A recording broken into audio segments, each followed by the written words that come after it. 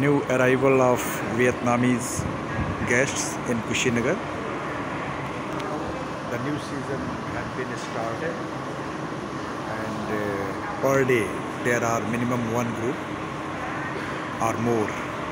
It's very good and very nice feeling for us who are present always for greeting of tourists.